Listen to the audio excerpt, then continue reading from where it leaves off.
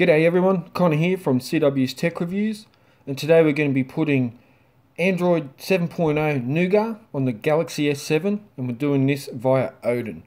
So if you're interested in putting it on before it's released, follow these steps and you'll be good to go. Happy days. Now the first thing I'm going to do is give you some links, one for Odin, download Odin and extract it and there's another link down below for the firmware that you need download that and extract it and I'll show you how to do that now. So I'll go into my folder where I've saved the firmware um, and created a folder just S7 so I know where everything is. Extract all and extract it to the same location just like that. Now this took a little while so I've sped it up. You'll see that it's uh, 1 2% and then all of a sudden jumps up to 100%. That's because I paused the video. And there you go. There's all the files you need to flash through Odin. Now we're going to go back to Odin, which is in my downloads, and I'm going to do the same thing. Extract all, like so. Same folder, extract. Once that's done, you'll be able to go into the folder and run Odin version 3.11.1. This is going to open up, and then we'll move on to the next stage, which is connecting your phone and putting your phone in download mode.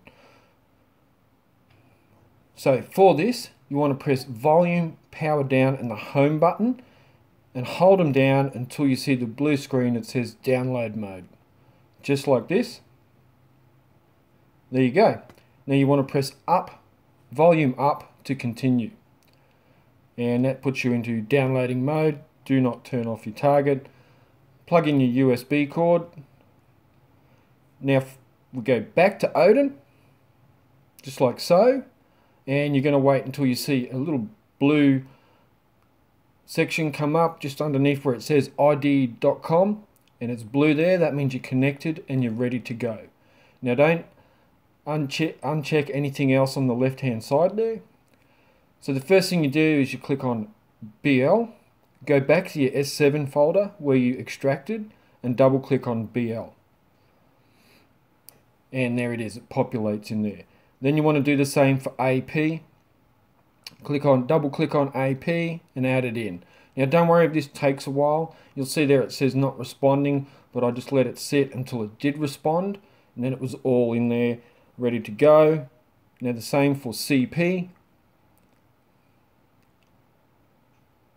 Just like so. Click on CP.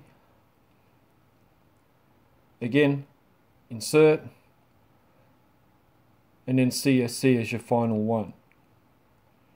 Now once this is done, all you have to do then is press start.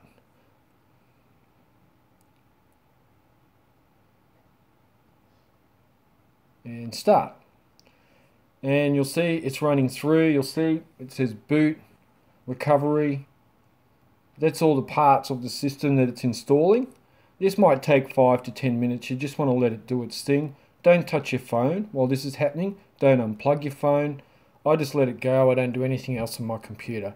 And this is what you'll see on your phone is a little uh, progress bar underneath where it says downloading. You'll come to the end. It'll do the cache. And bang, pass. So it took 3.5 minutes, like 3 minutes and 50 seconds. So that's it. And then we go back to our phone and you'll see that the phone re is rebooting. Here we go on the phone. This is the same footage as it was going. It's downloading. Progress bar gets to the end and it starts to reboot. Now rebooting took about 5 or 10 minutes. And there we are. Back to setting up our device with Android Nougat and I'll just take you through the uh, setup process nice and quickly. It's very familiar. We've all been here and, and done that. Um, you get to sign your life away by agree to everything on this page.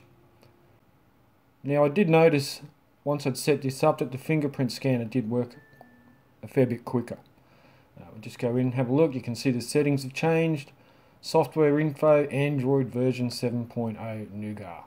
So there you go. I will be back soon with a, a quick overview or review of the software.